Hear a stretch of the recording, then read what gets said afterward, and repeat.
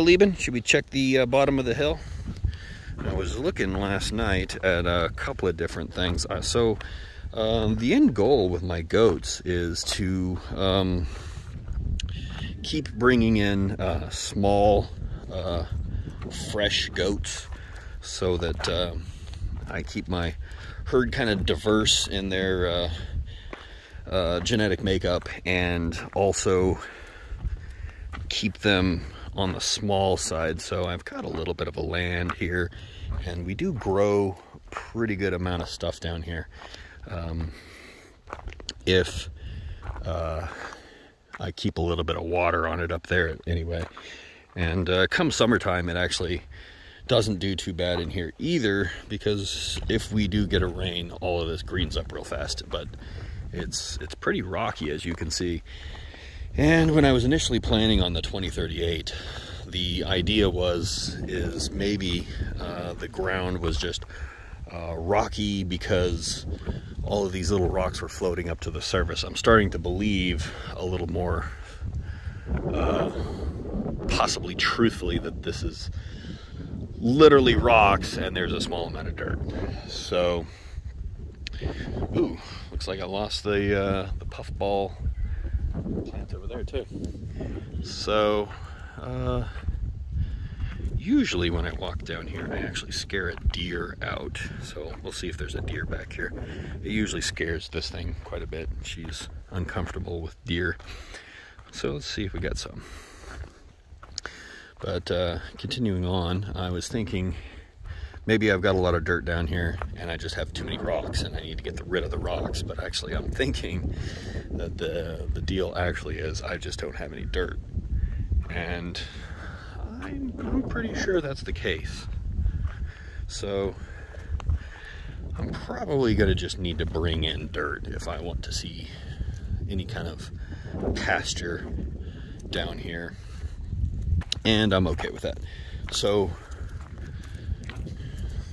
I think, you know, two or three square acres of dirt would probably do me. I don't think my neighbors would like that very much. Uh, no, I'm I'm probably going to bring in some dirt though. Uh, I'd like to see my backyard grow a little bit more stuff for the goats and that would mean that uh, we could probably get uh, the herd going and I was thinking well I don't really have that good of luck with dogs watching the goats. What what else could watch goats? Well, uh, a couple of farms around here sell llamas, and I was thinking about that, and that there might be a case for that. But uh, I also noticed online that there is a uh, a drone that flies by itself, and I'm a little fuzzy on the details as I'm still researching it. Uh, for its intended purpose of, you know, keeping an eye on the person that's controlling the drone, doing things like dronies, which is that uh, movie shot where the camera is pretty close to the subject and then flies away, away really, really quickly to reveal like this huge landscape. Uh, that's called a droney. It can do that automatically, for example, or it can orbit the subject and what you can actually do with a drone, since it has a, a fairly sophisticated AI, is, uh, and here's the back fence, by the way. It's extremely tall. Uh, you're at my eye level, which is about six foot. Uh, and that's a little lower than that. And it's still got about another four foot. It's a very tall fence. I don't know what's over there. It um, it isn't scared of people. It doesn't appear to be cow-sized, and uh, it likes to stay in the forest. So I don't ask questions. I don't want to know. But uh, that's the corner of my fence there, and this fence just keeps going. Whereas that's my the next ranch over right here anyway, so the, the drone, you can tell it to watch something and follow it. And I was thinking, that is really cool. Uh, perhaps with the right network, I could uh, bridge my Wi-Fi all the way down the hill here with, say, like a Loco Station M2 or, you know, heaven forbid a Gigabeam uh, through Ubiquiti, you know, maybe do two or three of them and just kind of coat the back valley in Wi-Fi and have one of those things uh, locate my herd matron, which is Meep. Everybody follows Meep. You know, even if I had to tape a beacon to her, which would be very funny, and send the drone out and just have it every so often keep an eye on my goats. I thought that would be really, really cool. They actually kind of facilitate something like that. Uh, they have a dock that I didn't get to read too much on, but it looks like it can autonomously take off from this dock, which I assume means the dock is uh, able to control the drone and charge its battery. But, you know, it could fill the battery up, have the drone go out, maybe map the edges of my ranch, and the range on it's like six kilometers. So that's probably way more than necessary, especially if I centrally locate it. Uh, and then locate the subject, which I actually don't think it can do. I think you actually have to either have a beacon on the subject or manually target it, but who knows? And uh, yeah, that'd be kind of fun because then it's like, yeah, you know, I have shepherds, but the thing that shepherds my livestock is this little bitty drone thing that has a really crazy camera in it and it can autonomously do things. what do you think, Lieben? They're taking your job. This is my flat rock back here. This thing is awesome. It's like 10 foot across. I don't know how deep because it just kind of recedes into the hillside right there. But the end of it's over there. And then the end of it's over here. That's that's probably more than 10 foot but it's kind of indicative of what I got going on back here. The hill slides away this direction, as you can tell. Actually, there's a really cool spot up here where you can watch the sunset. Come on, Lieben. What are you doing? Oh my gosh, I got left. the other dogs won't follow me around. They come back down here and they're like, oh my goodness, there's so many smells and so much wild animal poop. I'm never going back up the hill.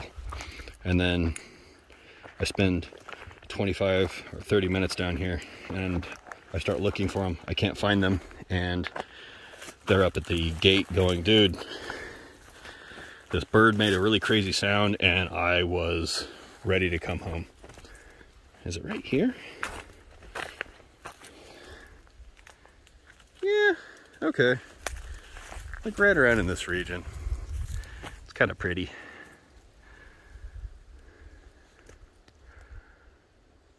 My property line goes up that direction and down this one. Well, look at that, huh? Is that pretty neat? That's pretty neat. I think there's another location up here, but the trees might have covered it finally. Yeah, It's just another day on the ranch. Spring break. Spring break. Well, let's walk up this direction.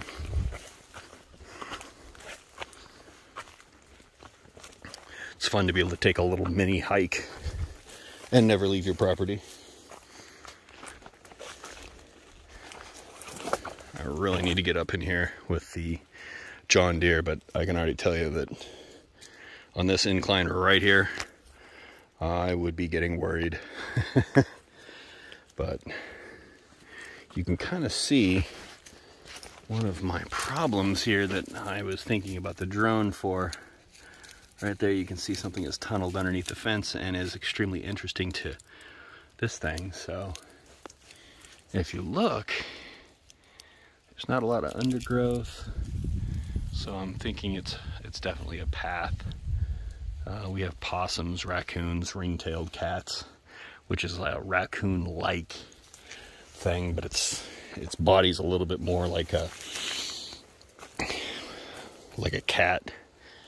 They're actually uh, they were domesticated originally uh, in a similar fashion to the way that cats were, i.e., they domesticated themselves by coming into contact with humans and providing a service very similar to the way that cats did. In fact, doing the same things generally.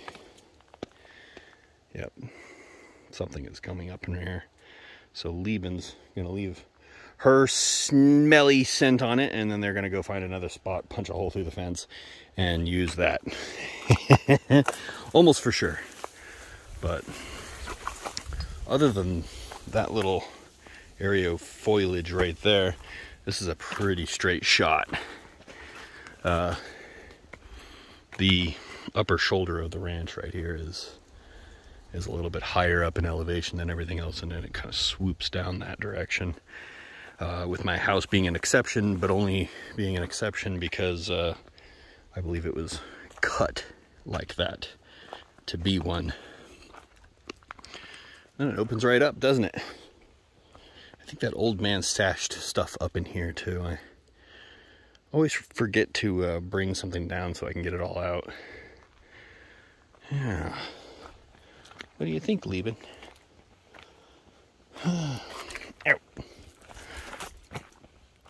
so, yeah. Nice and open back here. But we just don't have enough dirt for anything to grow. But as soon as you cross the fence here, my neighbor's yard, trying not to get that because I wouldn't want anybody pointing a camera at my house or shed. But he's got enough dirt and he doesn't have goats, so night and day. yeah, I just need to bring in some dirt and I think we'll be okay. There's a little bit more pressure on uh, this side of the fence to um, grow because of the goats. So I think I just could probably balance that out by adding more dirt so that uh, there was less hardships on the, the plants that we do attempt to grow. Uh, because this is how it is over here, but then you cross this fence up here again into the front quarter, fifth, tenth, I don't know, of my property, and you have grass, although not year round. My fence is terrible. Isn't it, Lieben? I don't have a clear path to get back here. I have to duck. Oh, there we go. Oh, no, not quite. There we go. All right. And here we are back. Well, I'm right here. That's Junior. He's got the daintiest uh, yell. Man, those look crazy, don't they? Just this rock situation we have back here is just so wild. It's really neat looking. I almost don't want to bury stuff like this because it's just, it's really cool looking. But I'm not sure that there's going to be a lot of choice. Wow. What the heck happened here? Oh, uh, I think I actually know what happened right here. Yep.